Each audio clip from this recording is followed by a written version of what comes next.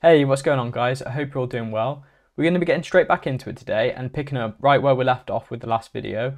So if you haven't seen the last video in this Room Assistant tutorial, then there'll be a link in the top right, so go and check that out. In that video, we went through the installation process of getting Room Assistant set up on a Raspberry Pi Zero W. And if you've come from that video to this one, then welcome back. Let's get into it. We're back on our demo dashboard then, and in today's video, we're going to be going through the setup and installation of the MQTT broker. If you're interested in a bit more information about MQTT, I recently created a video where I gave a very brief beginner's look into what MQTT is, and there'll be a link for that in the top right. For this demo version of my Home Assistant, I'm running it on a Raspberry Pi 4 8GB model, and we're going to be installing the Mosquitto MQTT broker on the Pi, and the Pi is going to act then as our broker and our Pi Zeros are going to send messages to this Pi in order for us to be able to do the room detection. And if none of that made sense, then don't worry, we're going to install it now and hopefully it'll become a bit clearer when we actually get the thing up and running.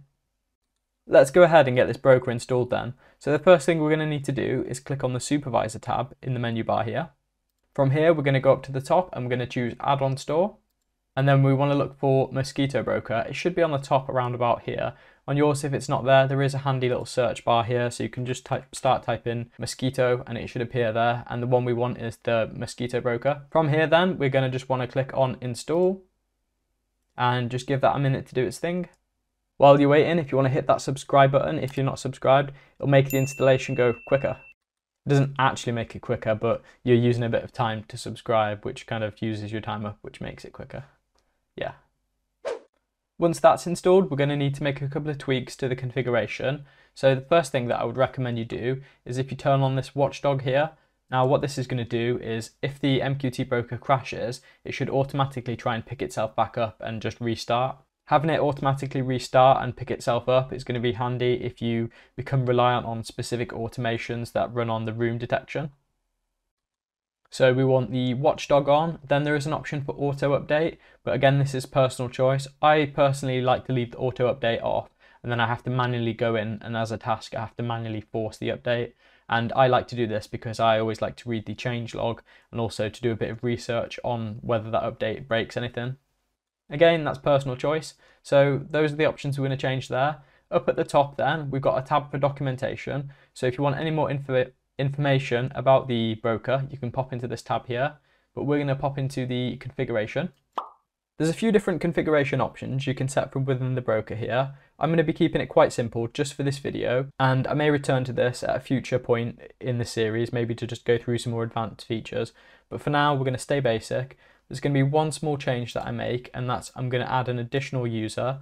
Now you can use your Home Assistant local users to access the broker, but I'm going to create a user specifically for the Pis to use. So let's go ahead and add another user in here. We're going to need to add in this username here and password. Give it a username. I'm going to just call the user MQTT and I'll leave the password as password. Uh, let's give it a 123 because you know that's super secure. So add in a username and password there and then the all important save button, make sure you press that and we should be good to go. And that's actually all the config that we're going to change for the broker. We're now just going to reboot Home Assistant and make sure that our config's all correct. To do that, again, we go to Configuration, Server Controls, Check Configuration, and that's green config is valid, so let's give that a reboot. And okay. I don't think you have to do that reboot. I always like to do a reboot after installing a big add-on just so that I've got a clean boot. My Home Assistant's finished rebooting now, so let's jump into the supervisor again. And we're going to go into our MQTT broker, so the Mosquitto broker here. And we can see it's not currently running. Usually there's a little green icon on the top right here if that is running. So we're just going to go ahead and click start. And we can see that that's now running, so we've got an option to stop and restart. If we head over to our log, we can see that Home Assistant is running the Mosquitto broker. If you see this warning here, um, just don't worry about this for now. I'll go into more detail about the warnings and some of the other configuration at a later point in one of the upcoming videos. That should be everything we need to do with the broker now, so that's running and it's happy. We're now going to need to go into a configuration and we're going to need to add in another integration that's going to allow us to use MQTT. So let's press on integrations and we can see here that Home Assistant has automatically discovered the MQTT add-on because we've got the browser set up and running. If your Home Assistant hasn't automatically discovered your MQTT, then don't worry. If you just press on the little blue add-on in the bottom right there, then you can just do a search for MQTT and it will add it in. That's such a challenge, constantly saying MQTT. Right, so we're going to press on configure here. And we're just going to enable auto discovery and click submit.